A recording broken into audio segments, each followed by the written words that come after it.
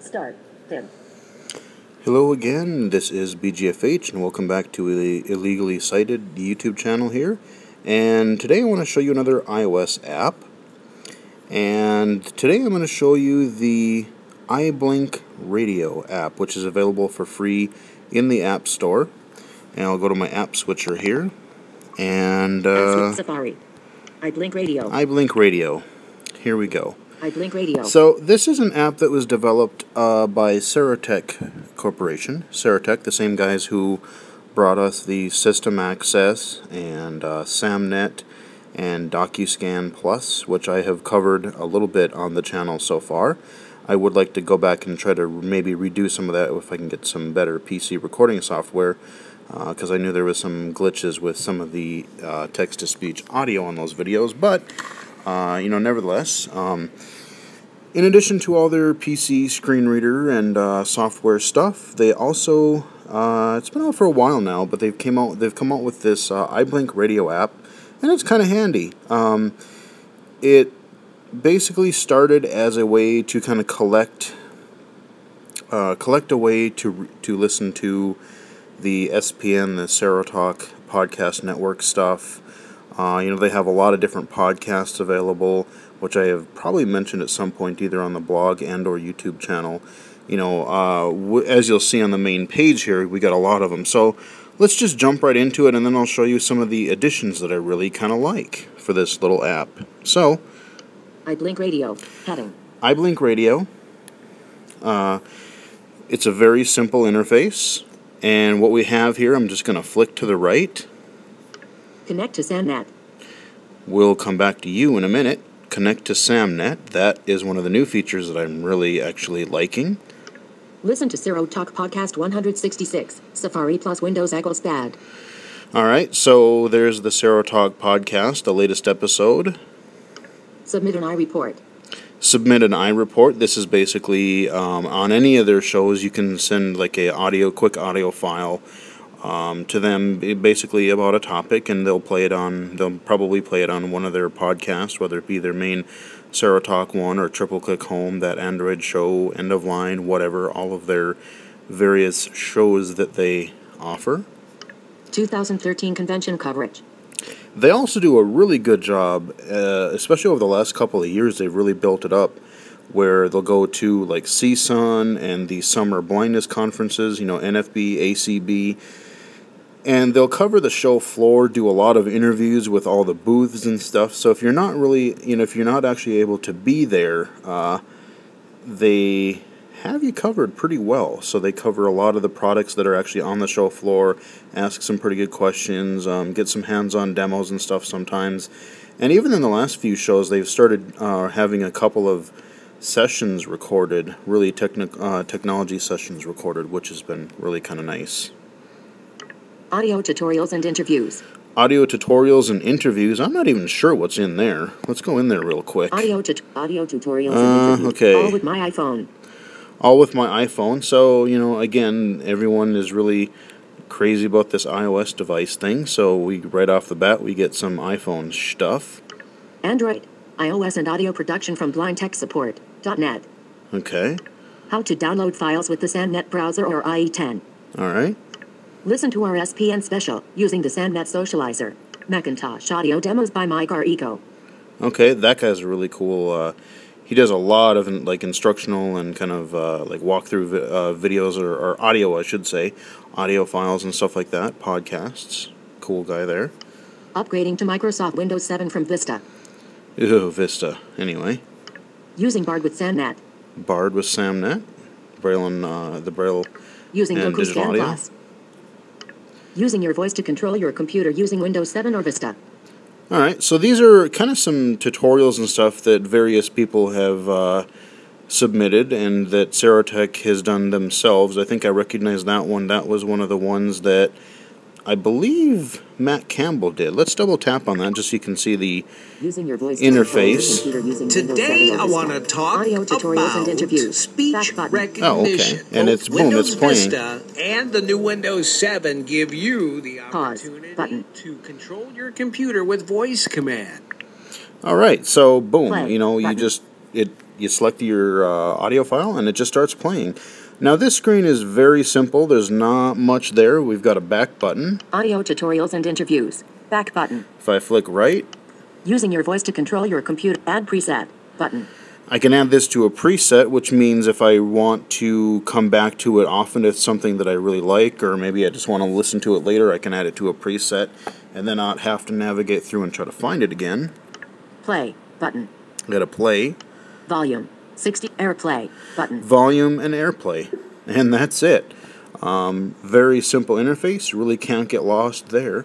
Um, but yeah, really nice, simple interface. And then the main part of the screen is just kind of this big old white area. Nothing really there. But let's go back. Audio tutorials and interview. I blink Radio. Back button. back button. I'm going to pop out of these tutorials. Radio. Blindness resource. Bl- audio Let's tutorials see, and audio, interviews. audio tutorials and interviews. Let's uh, go back and we'll flick to the right again. Blindness resources. Blindness resources. There's some good good stuff under there. I'm not going to go into every one of these links because, like I said, there's so many resources. Um, actually, here that if I did that, I, we'd be here all day. Community radio. Community radio. Um, that's kind of neat where they've started to pool together some of the resources, uh, like radio stations that are uh, produced by some blind and visually impaired individuals. EOL Extra. NOMS Edition. Victory is Life. So there's one of the EOL episodes. So what they do, they try to do is they mix in some of these general links, and then they also put in a lot of their kind of, you know, they highlight their latest content, uh, content from their Serotalk podcast network. So we get EOL, Listen to High Contrast episode 13. High Contrast. School. That's their low vision podcast. I forgot about that one. Listen to our SPN special, AT Trainers. Okay, so that's one of those. Uh, that's one of those items that was on on the uh, conferences that were recorded during one of the summer conventions. Listen to our SPN special, HIMS NFB Workshop Part 1. Listen to our SPN special. Listen to our SPN special, using the SAMNet Socializer. Listen to Serospectives, this month in Tech for July, 2013. So you get the idea. I mean, you can just keep on going. Uh, let's just scroll down a ways. Replay the accessible event archive of this month in Tech for podcasts. Oh, and then we have a podcast. So again, they feature a lot of, uh, you know, blindness podcasts all in one place, so you don't have to go find them. Um, a lot of them are technology based, you know, but not all of them are. Um, there's just a variety of different podcasts under there. Search. I can search Local content. local content. About. Local content. Oh, what's in there? I, don't- I don't even Local know. content. Local content. I blink Radio. What does that even do? I'm not sure. SPN Radio. Your station. Community. Okay, so that's all that's under there right now. That's their own kind of radio station, which um, the SPN radio. Not only do they is it just kind of like a radio station where they they play music, but again, when their conferences are on, like CSUN and the summer conferences, iBlink Radio. they Back- will be streaming live. You know, it's not archived right away. Um, but if you want to, if you want to, you know, catch any of that stuff, um, you can catch it live as it happens as they stream it on their radio station. Let's go back up to the very Listen top. to triple rows ten rows one to ten of twenty nine. And- connect to SAMNet. Let's connect to Connect to SAMNet. SAMNet. Now I have SAMNet logged in already, so thankfully it does remember who I am. I don't have to enter it every time. But what's cool about this is I don't have every feature. Uh, I don't have the wonderful new socializer, which I would like to cover at some point on this channel as well. But a lot of the content that you have um, in your SAMNet browser, or SAMNet in general, Email. Listen to Serotalk Podcast 166. Safari plus Windows equals bad. Email. so I got email, My newspaper. Entertainment. Media live notes. Weather. NLS login. That looks pretty darn familiar to me, so that's uh, there we go. So all of this stuff is just built right into um, the iBlink Radio app, which is really nice because the two things that I love to use this for is I like to use it for the My Newspaper uh, feature where I can just quickly pop into well My newspaper. My newspaper. My newspaper. and I have My so newspaper. much stuff under here. I'm just gonna boom, two- boom, page boom, page you know, go through five- so much stuff. 13. Joystick news. Joystick podcast. Le- main menu podcast. Link. So I mean, these are all the things home. Back button. that are in my newspaper. All my links for podcasts, for uh, the text RSS feeds that I've done for news and stuff, all that stuff is in there, and I, it's just I can access it there. So I really like that. The other thing that people kind of like, and I have to admit I've used a time or two myself, My newspaper. Entertainment. entertainment. Entertainment.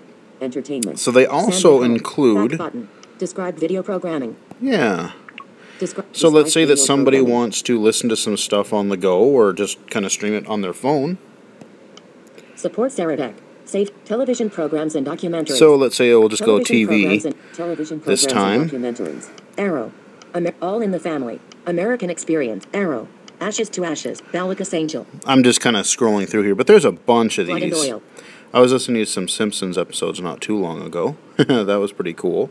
But yeah, I mean, there's just a lot of stuff on here. I can go to any one of these and just start playing it. So even the protected content, like this, you know, the descriptive videos and stuff, even that content Describe video programming. is there. So that's, you know, I said a lot of people are going to like that. The one suggestion that I would absolutely love to see. There's actually two suggestions, and they tie together. Uh, and I've actually emailed uh, Serotek on this too, just as a kind of a feedback. the two things that I would really like to see. Let me switch back to my recording Photos. X-Rat. app here first, and make sure we got enough time. Yeah, we do. Ready. All right. So the two things, and if you guys really, if uh, Serotek is listening, um, I said these would be the two suggestions that I would really love to see in both SamNet and especially the uh, iBlink Radio app. So I love the fact that I can access my newspaper, and I would love the I'd love to have the ability to organize my newspaper into various folders. So what I would more than likely do for myself is I would have like there's a core set of I mean I have a whole load probably over a hundred things in this whole my newspaper thing. And I would love to be able to put all of my really regular podcasts that I listen to on a very, you know, on a weekly or very regular basis into a folder. Put all my, my regular, regularly checked or tech new uh, news text RSS feeds into another folder. You know, put some of these ones that are just yeah, I check them every once in a while, but just kind of get them out of the way and pop back to them when I can. Put them in another folder. So just being able to organize by folder in my newspaper would be a very welcome feature. But the thing that I would really, really, really absolutely love is I would love the ability in iBlink Radio to have speed controls for all of the spoken content. So I would love the ability to be able to say speed up podcasts that I can access both directly through iBlink Radio and through Samnet, my newspaper. I would love to be able to, like currently right now, like I said a few times, I use my Victor Reader stream to listen to various podcasts and Audible content because I um, can speed things up very quickly, just like a lot of blind and visually impaired users are actually used to speeding up their talking book players or, you know, things like that, and their speech synthesizers on their computer once they get used to them. Um, but I would love the ability to be able to speed things up to a pretty high degree.